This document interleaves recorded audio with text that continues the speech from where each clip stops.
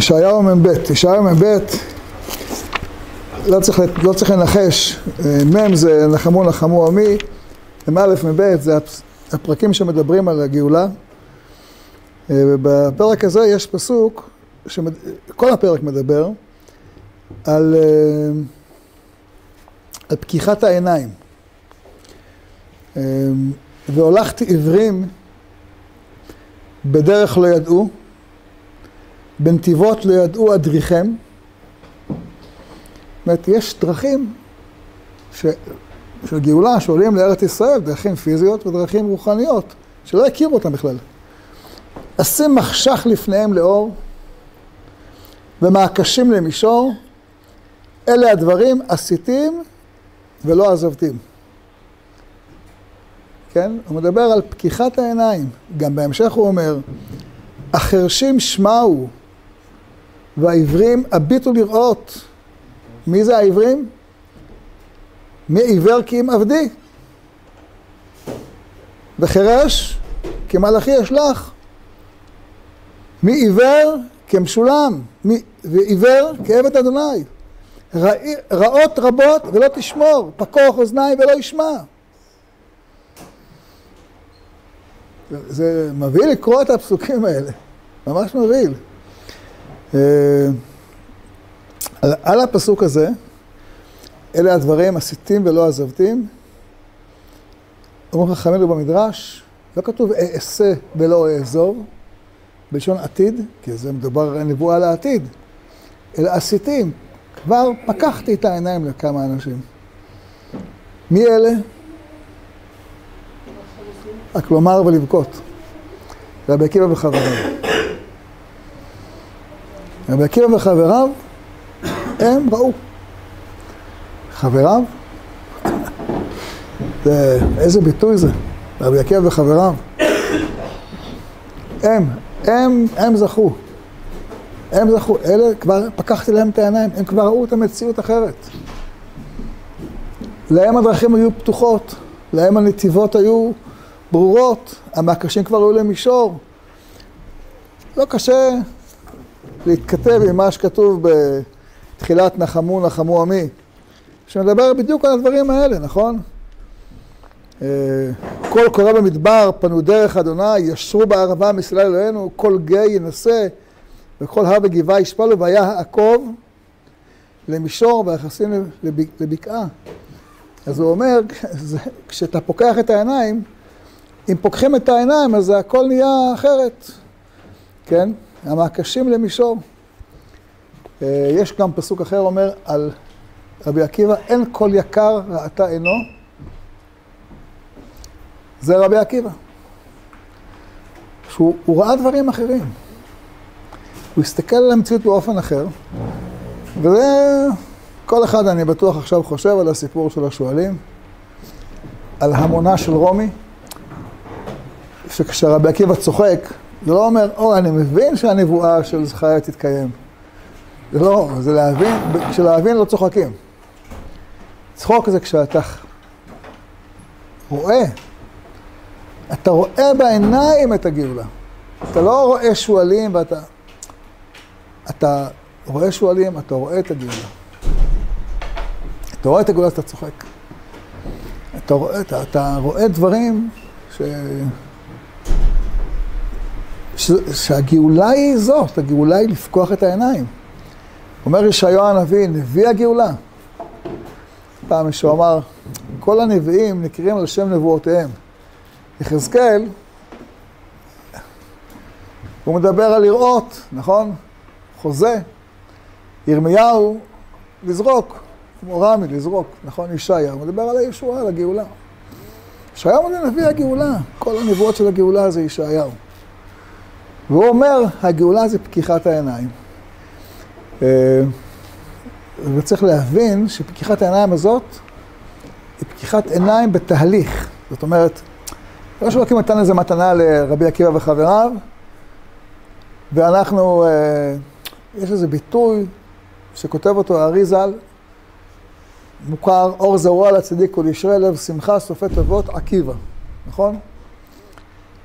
מה שרבי עקיבא זכה לאור הזה שרואים בו את האור, רואים בו את המציאות בעיניים אחרות, זה אור שנזרע בתקופת רבי עקיבא וצומח בתקופ, ב, ב, בתקופת הגאולה. ומאז ועד היום מה קורה לו? הוא, כמו כל דבר שנזרע, הוא בהתחלה מכה שורשים. אתה לא רואה את השורשים, השורשים לא ניכרים. אבל השורשים עושים את העבודה, הם מגיעים למקווה מים שנמצאים בעומק האדמה, ומתחילים לצמוח ומתחילים לעלות, ובסוף האור הזרוע הזה, הוא בסופו של דבר צומח בתוכנו. זאת אומרת, פיכחון העיניים האלה זה לא דבר שקורה בפתאום, אלא פיכחון העיניים האלה זה תהליך שקורה לנו כל הזמן. ואנחנו כל הזמן צריכים לצמוח עם תורת רבי עקיבא וחבריו.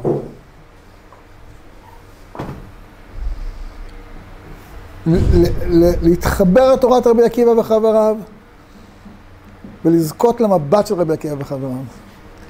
אני רוצה לספר לכם איזשהו סיפור, חוויה אישית של ילד, נער, כבר לא ילד, אה, שהיא כל כך, היום כל כך ברורה, אבל כשהיא הייתה, זה לא הייתה כל כך ברורה.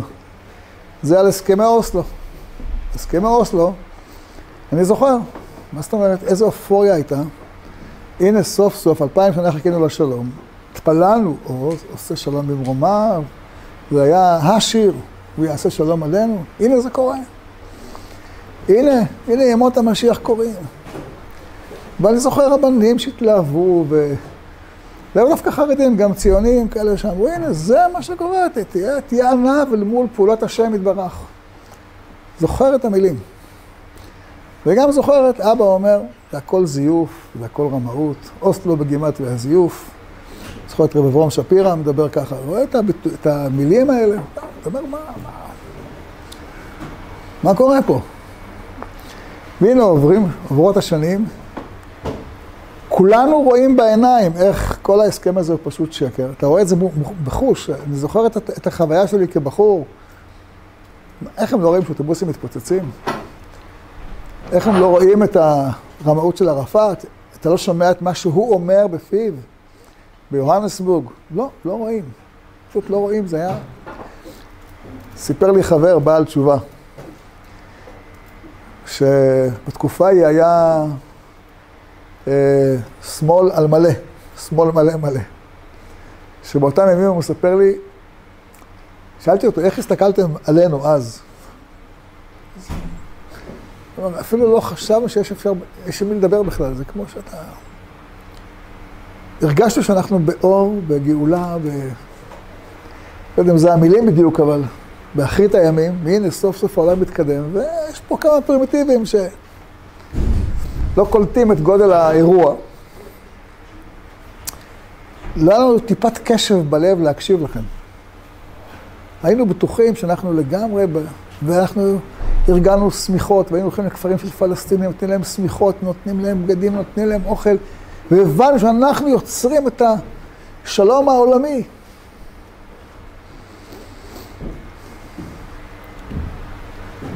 ואנחנו, אני זוכר את עצמי, לא מבין, מה, מה איך, איך חלוץ היה, אז הרמטכ"ל לא רואה, איך רבין לא רואה.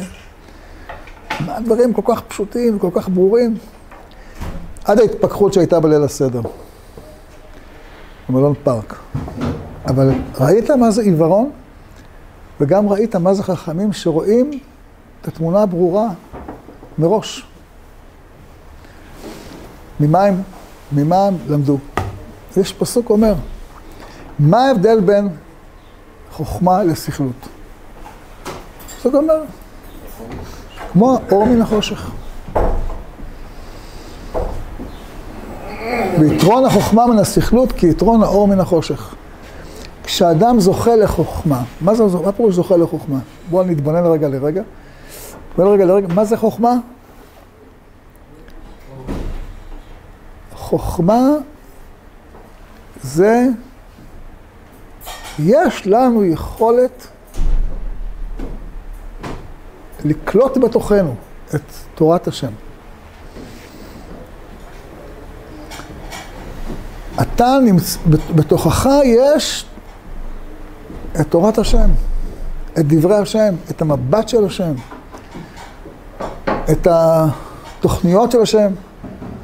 יש לך אפשרות להסתכל על המציאות כמו שהקדוש ברוך הוא מסתכל על המציאות. זה מה שאלוקים עשה לאברהם בברית בין הבתרים. מה זה הברית הזאתי? לתרגם אותה רגע לשפתנו.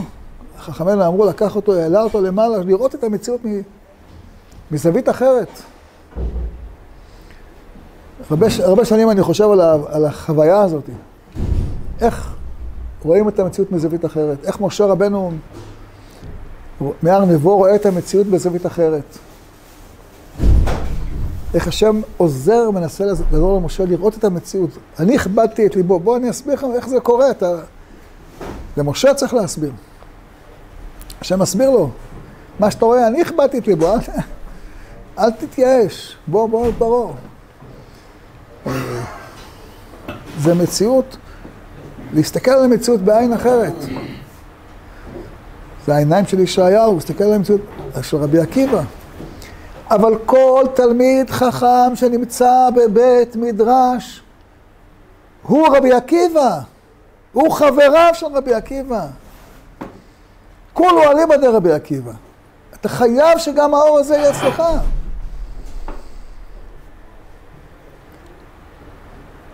זה אור שצומח, אור זרוע לצדיק.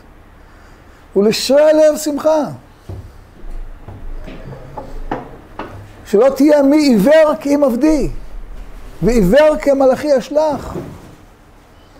עבד השם הוא עיוור, איך יכול להיות? אומר ישראל, עבד השם, הוא יהיה עיוור?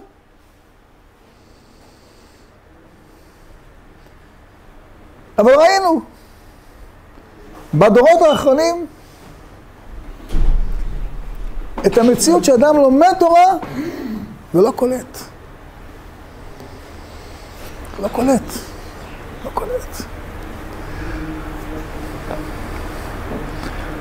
ואנחנו חייבים ביום הזה, יום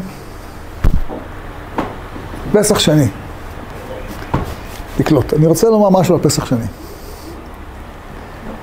הרב הזכיר את פסח שני שבא אחרי בעלותך את הנרות, בהתוודות של אתמול. מה זה פסח שני? הרי זה משהו...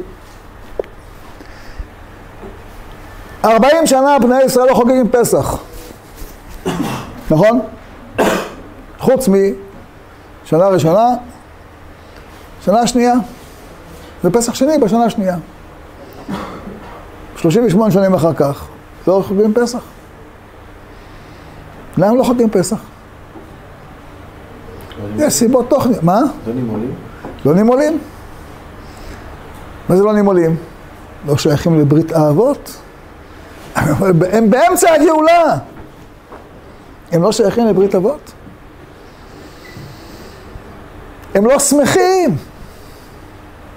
הם לא שמחים ביציאת מצרים, בעיניהם זו תקלה. המצב הבריא עכשיו זה לחזור למצרים ולאכול קישואים.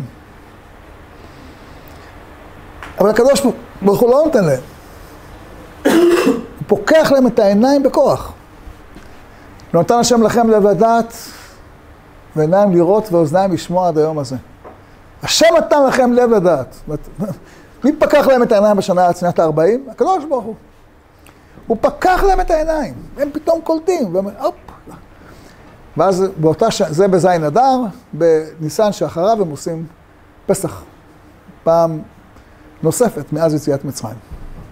אבל באותה שנה, בשנה השנייה, יש כאלה שלא מוכנים לוותר על ליל הסדר. למרות שהם מהדין פטורים, אנוסים, רחמנא פטרי. הם מרגישים צורך להיות חייבים. יש כוח בעם ישראל, שכן פוקח את העיניים, וכן רואה וכן נלחם על המקום הזה.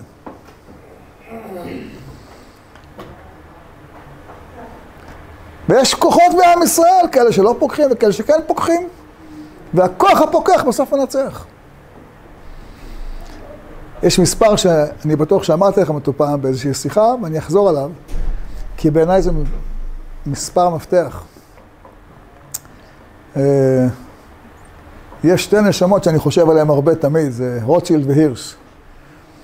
רוטשילד שמשקיע פה מיליארדים, אה, גואל 500 אלף דונם אדמה, מקים 53 יישובים, מתוך אמונה גדולה, ממש מפליא, ולידו הירש. מתפלל איתו באותו בית כנסת, אה, לוויקטואר, מרכז פריז, הייתי שם בכנסת הזה, ראיתי את המקומות שלהם, ממש לא רחוק. אותו רב יש לשניהם, הרב של פריז, הרב צדוק הכהן. הוא פוקח להם את העיניים, עיניו של רוטשילד נפקחות, עיניו של הירש לא נפקחות. אגב, רוטשילד, אב, חותנו היה תומך גדול ביישוב ארץ ישראל, אבל הוא תמך בתחילת דרכו בהגירה לאמריקה. עד שבא הרב ופוקח להם את העיניים, ועיניו של רוטשילד נפקחות, ושל הירש לא נפקחות. כמה אנשים הלכו עם רוטשילד, כמה אנשים הלכו עם הירש. זה מספרים מבהילים. בימים ההם, בין העלייה הראשונה למלחמת העולם הראשונה, בין 1882 ל-1914, בין תרמ"ב לתרע"ד, 97% מהיהודים מהגרים לאמריקה, 3% מהגרים לארץ, עולים לארץ ישראל. מהשלושה אחוז האלה, חצי נרמים ידיים וחוזרים או לאירופה או לאמריקה. אחוז וחצי. אולי שתיים. רגע, מה הירש בדיוק רוצה לעשות? הירש לוקח בפועל את היהודים לדרום אמריקה. בדרום אמריקה.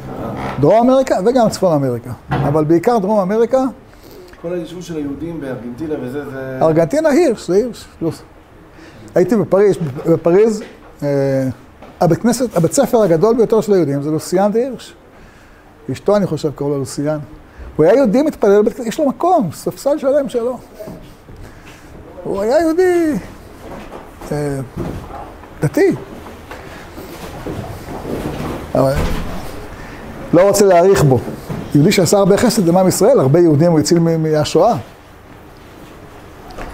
אה, אבל בסוף לקח אותם לגלות, החליף גלות בגלות. לא אתם מכירים שיחה של הרבי מחב"ד, אני ש- שמעתי אותה באוזניי. שהוא אומר ליהודים שיצאו מרוסיה והיגרו לאמריקה, אומר להם, החלפתם גלות בגלות.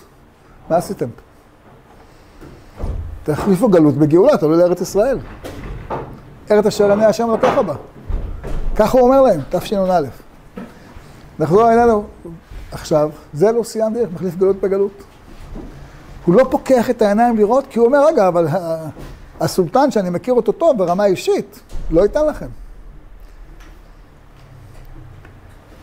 והיא, ו, ורוטשילד משקיע מיליארדים. הוא רואה רק אחוז וחצי הולך איתו.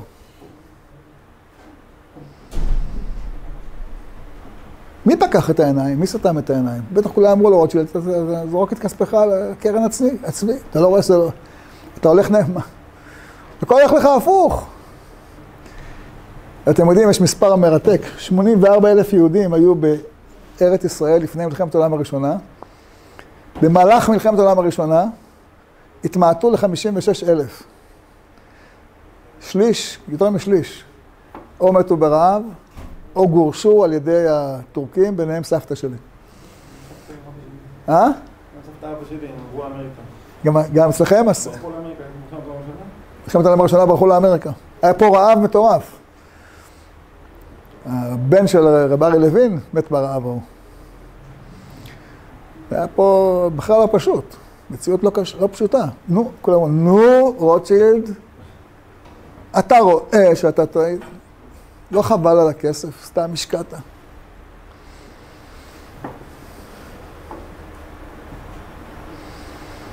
אבל, מלחמת העולם הראשונה, כולנו יודעים שזה היה מלחמת הגאולה הראשונה. עם הצהרת בלפור, עם פתיחת שערי ארץ ישראל, עם מהפכה גדולה. אבל זה עניין של מבט. אחיי ורעיי, בני הישיבה, אחיי ורעיי, כל מי ששומע אותנו עכשיו. אנחנו בשבוע של רבי עקיבא וחבריו. זה השבוע שאנחנו צריכים לקלוט אל ליבנו. אין כל יקר ראתה עינו. אור זרוע לצדיק ולישראל לב שמחה. לפקוח את העיניים. ללמוד מישעיהו איך פוקחים את העיניים. ללמוד מה... זה? כאילו, הרב התחיל מזה שמי עיוור כעבדי, ומי עיוור כמצולם, כאילו, דווקא המקום שבו נראה שהכי הכי הולכים עם דבר השם יכולים להיות טבעיים. מה? מפחיד, מה נקודת הסכנה? מה- באמת נקודת התרופה? כאילו? הרב אייל, שאלו אותך שאלה. קח. בוא בוא שייתנו אותך, הרב, נעשה מה פה? אמ, אני, אני חושב, לגבי השאלה של הרב אלעזר, אלעזר שאל, אה, מי שלא שמע, נשאל כאן, אה, הרב הציב פה סכנה גדולה, מי עיוור כי אם עבדי דווקא הוא, כאילו, עבדי זה אדם שלכאורה לומד תורה, ואם אנחנו לומדים תורה, לומדים תורת רבי עקיבא. אז זאת אומרת שזה לא עוזר, אבל, אבל רבי עקיבא כן אה, עוזר הוא על הצדיק, הוא כן נותן לנו את היכולת כן לראות. אז איפה הסכ- נקודת הסכנה ואיפה נקודת הפתרון, כאילו, שהרב מדבר עליה. אז אני חושב שקודם כל, בעצם העובדה שאתה כבר יודע שאתה לא רק לומד את התורה, אלא גם מבקש פתיחת העיניים, ואתה מודע, כמו שאמרת, לסכנה הזאת, זאת אומרת שצריכה להיות גם איזו ראייה,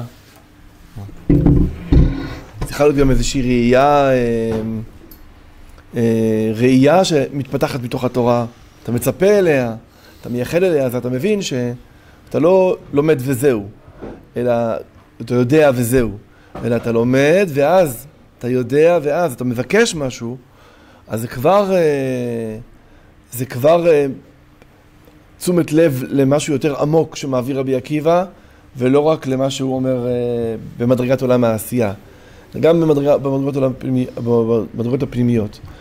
אותו דבר גם במה שהרב פתח ואמר, שכל כל זה קשור לתורת הפנימיות. זאת אומרת, רבי עקיבא וחבריו הם רואים, ואתה כבר מבין שצריך פה איזשהו זוהר, צריך פה איזשהו אור. לא מספיק פה רק... אה, אה, לא מספיק רק לדעת מה, אני, אני צריך ש... אני לא צריך, לא מספיק שאני אראה כמו שאני רואה כבר, או כמו שכולם רואים, או כמו שראיתי. אני צריך שעיניי ייפקחו.